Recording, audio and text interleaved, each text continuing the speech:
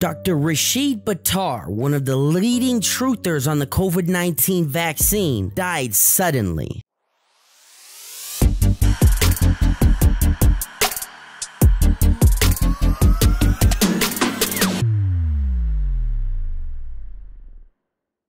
Have you ever heard of the Center for Countering Digital Hate? The CCDH was founded in 2018 by Imran Ahmed. They've tried over the years to silence dozens and dozens of right wing conspiracy theorists and journalists, such as Breitbart, Newsmax, The Washington Times, and The Daily Wire, just to name a few, as they claim they were toxic publishers. They've protested over the years that social media companies aren't doing enough to silence those with opposing views on topics such as COVID 19, climate change, and vaccines. On March 24, 2021, the CCDH published a 40 page document taking aim at 12 of the most outspoken people with differing views on the COVID 19 vaccine. They coined these 12 individuals the Disinformation Dozen. The Disinformation Dozen are responsible for up to 65% of the anti vaccine content. Our analysis of over 812,000 posts extracted from Facebook and Twitter between February 1st and the 16th of March 2021 shows that 65% of anti vaccine content is attributable by the Disinformation Dozen. The CCDH called for outright silencing of these 12 individuals. Deplatform the Disinformation Dozen. The most effective and efficient way to stop the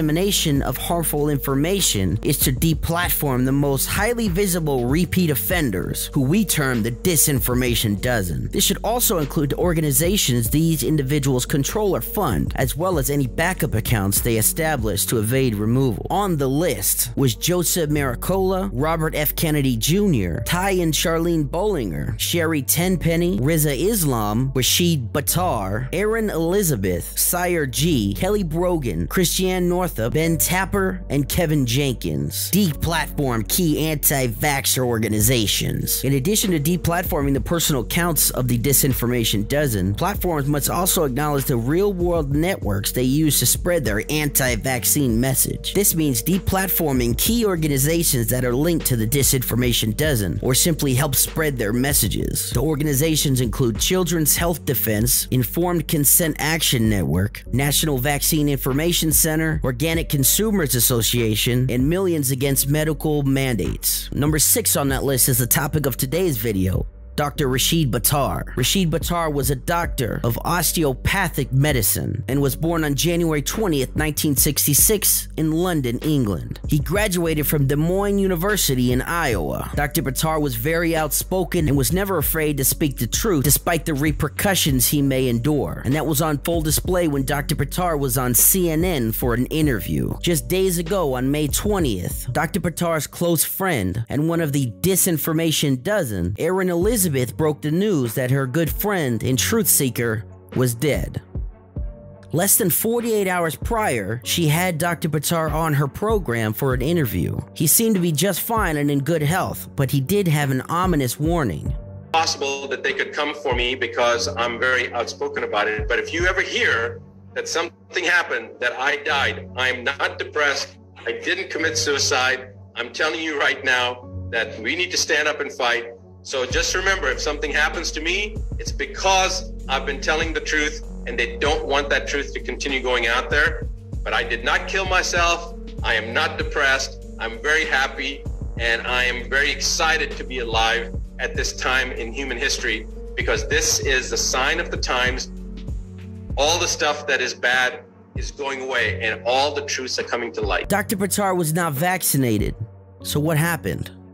The cause of death is unknown at this time, but Dr. Buttar did state that he thought he was poisoned in the same interview with Erin Elizabeth. People just remember, you know, that I went through a very difficult personal health challenge a few months. I was in the ICU. I had been poisoned with this 200 times the amount of what's in the vaccinations. And I've said publicly, you know, you'd have to shoot me in the head with lead, um, i.e., a bullet, because I'm never going to take the vaccine. So I was actually intentionally poisoned, and part of it was, I, I believe, right before that scene or right after that CNN interview.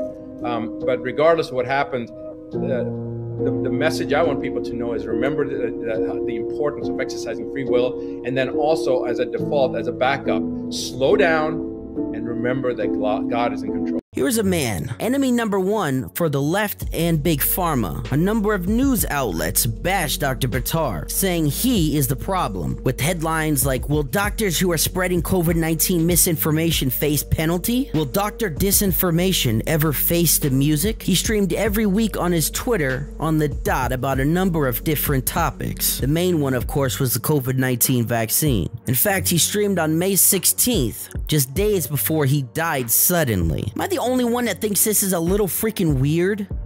What happened to Dr. Buttar, we may never know, but one thing is for sure he was a truth seeker that will be missed greatly. Rest in peace to Dr. Buttar. To learn more about my COVID 19 vaccine documentary, The Big Jab, go to thebigjabmovie.com.